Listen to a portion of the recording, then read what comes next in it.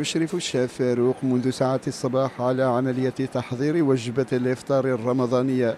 هنا بالإقامة الجامعية برشيش واحد بالقصر يرافق ويعمل جاهدا رفقة زملائه من الطباخين على إعداد وجبة إفطار جماعي تليق بالضيافة للطلبة المقيمين دوليين وجزائريين. نتبكروا دي خدامنا وكتبكروا مام طلبة تعاوننا. بريباريسن دي إفطار الجماعي طلبة. المعاون يعني ديد السن. نخدم المثوم نخدم آه، ال poulet rôti نخدم آه، الروز سلطه فروي آه، لا سلطه variée نخبز الحميس البوراك.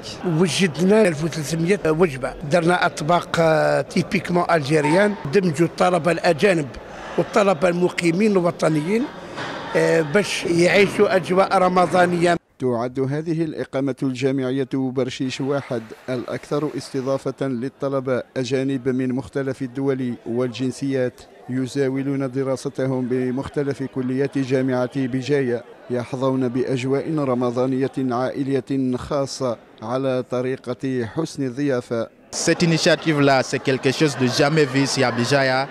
Et on remercie vraiment la l'ADO pour cette initiative. La rupture du jeûne, c'était bien, tout était bien organisé, on a bien mangé, la, la, nourriture était bonne aussi. Très bonne initiative pour, pour se rapprocher l'un vers l'autre, que ce soit noir, blanc, n'importe quelle race. Ça a été formidable, j'ai aimé, c'était bien organisé, alhamdulillah. طلبة جزائريون يتطوعون فرقا لمساعدة عمال المطبخ يقومون بأعمال تحضير صالة الإفطار. المعاونة فوس كفوس الحمد لله. أقرا كنيت توالي أقرا بيان نورغانيزيت بيان هي بيان. قمنا بالمشاركة مع الطاقم المطبخي مع العمال لتحضير هذا الإفطار الجماعي. الطالب الجزائري والطالب يعني من كل الدول. إحنا الحمد لله عندنا 38 ولا أكثر من 38 جنسية متواجدة معنا في الإقامات الجامعية أميزور. هذا الشيء شرفنا ويشرف الجزائر لأنه استقطاب عدد هائل من الطلبة الأجانب لا يدل على شيء وإنما يدل على أن الجزائر